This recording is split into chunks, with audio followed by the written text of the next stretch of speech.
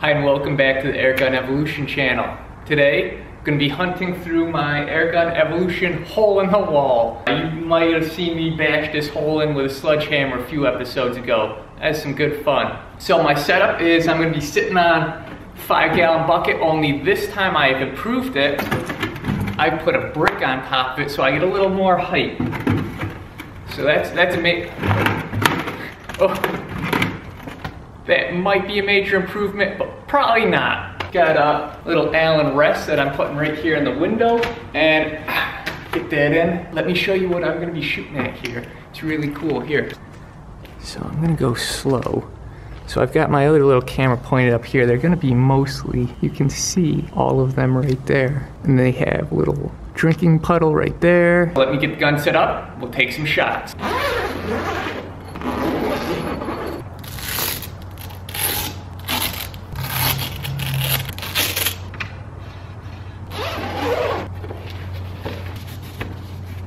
And today I'm going to be using the Hill 8-inch airgun suppressor. Tim Hill loaned this to me to test out, so I'm going to see how it does today. There we go. And yes, for all you wondering, I did get my mask and filters now. When I'm inside, I will be wearing this.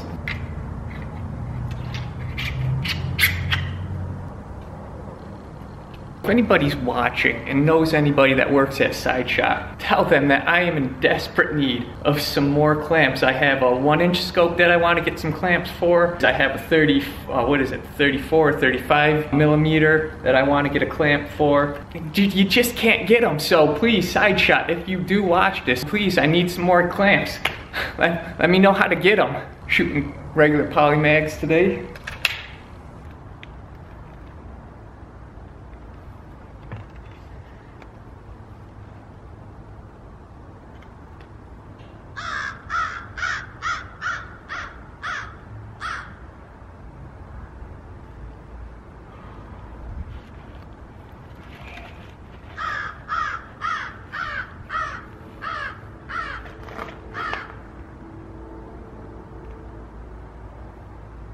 I wonder if I can put one through that guy's head and into that one's chest.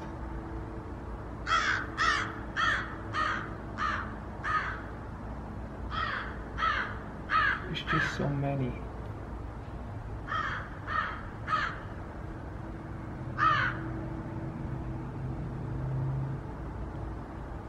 I kind of want to take two at once. That's where I'm going for. That was two. That's definitely two. Two headshots. Here's the one. You can see him flopping. Ooh, that's gross. There's one right there. The other one I killed. Right there. And they're coming back in. He must have did like 16 back rolls.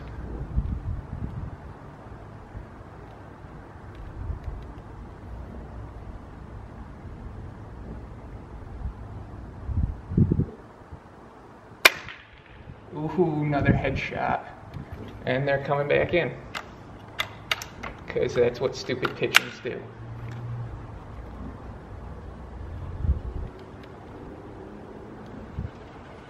And they're actually flying over my head right now.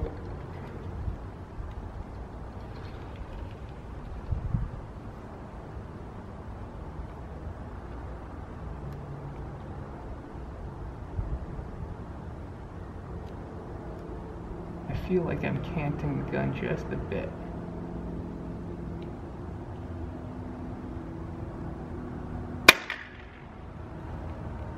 Another headshot.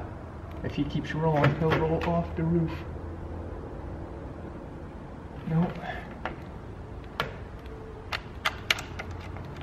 Come back in, boys.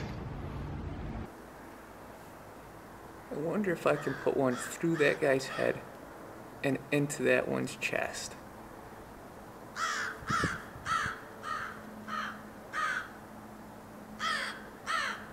There's just so many.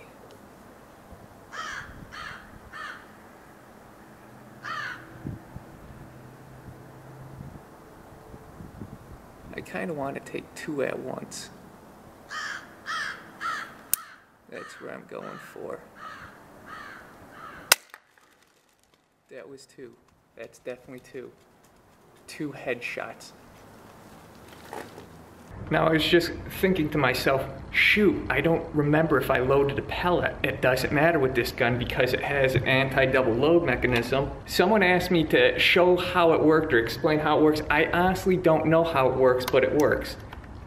See? It's just, it's not loading the second pellet. After I knocked the brick out, I picked all the loose pieces up and threw it outside so it wouldn't be in my way. Thinking back on it, I should have left quite a few pieces over there. The pigeons, they'll fly from where you just saw me shooting them, and they'll fly right behind me. I found out if I just pick up a few rocks and throw them over the walls,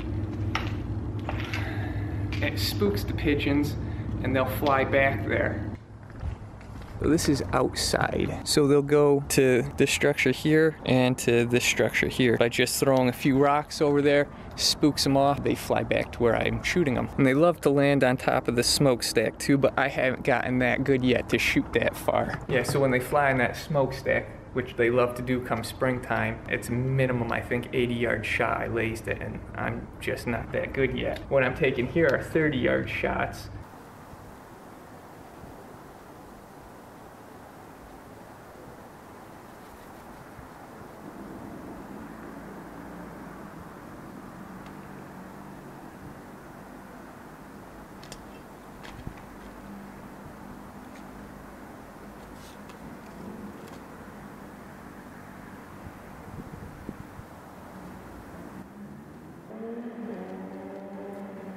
So the two you see together are the ones that I did the double headshot on. And this guy right here, he might be a bit graphic to show his head because it's not quite intact. Quick second.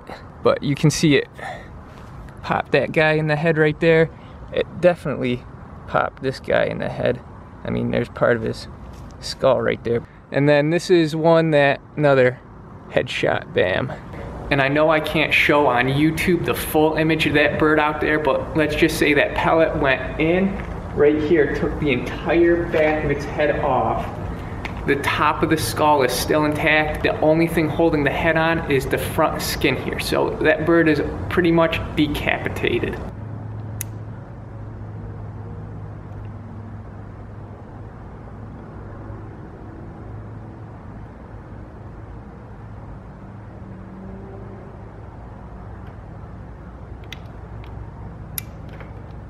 today.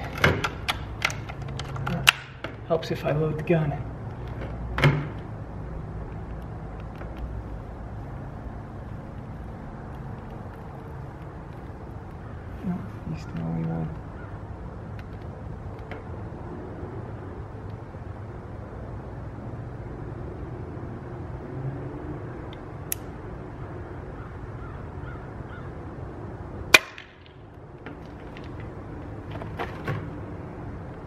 He went down, spiraled down, headshot.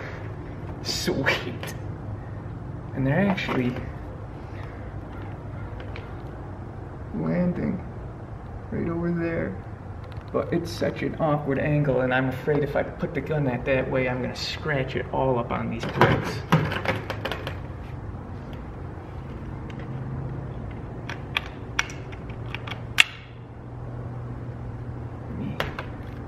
if I can't figure this out here, how I can do this without ruining my my gun. Oh no.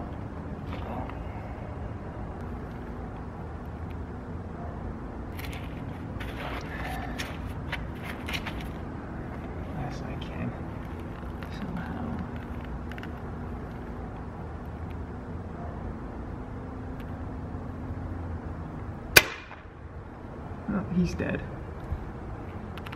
Wasn't a headshot, but it certainly hit him.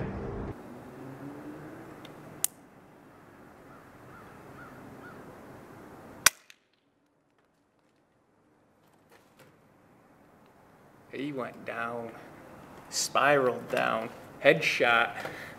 Sweet. And these lighting, whatever lighting condition it is right now, it's it's kind of got just a haze of clouds and, and the sun buried behind it all, but whatever it is, it's like super perfect. I'm actually able to track the pellets by eye through the scope and as they fly to the air. I, it's awesome. I've never really had it this perfect before where I could actually just and see, yeah, oh, head shot, no, chest shot, things like that. And that last one was definitely a chest shot.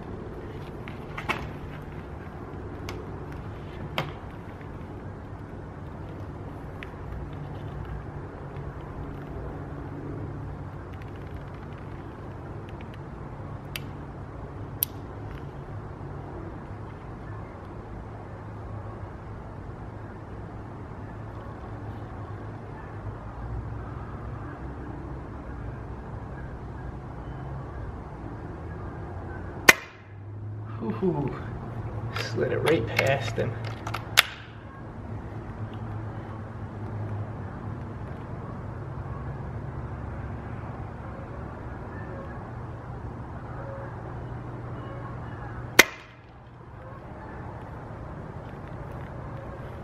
Let's go see where I got that one.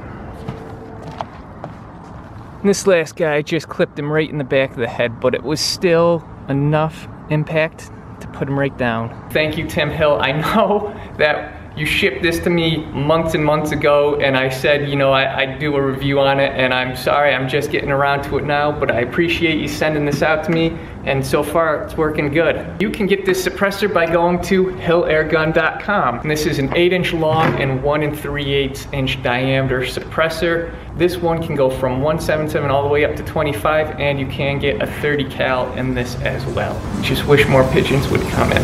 Well guys, if you enjoyed the video, please like and subscribe and I will see you next time.